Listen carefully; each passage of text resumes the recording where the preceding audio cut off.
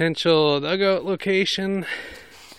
This is up in the northwest corner of the north pasture. It's quite a bit of water just sitting there, and I know that's only a couple feet deep, but it runs back into the trees quite a ways.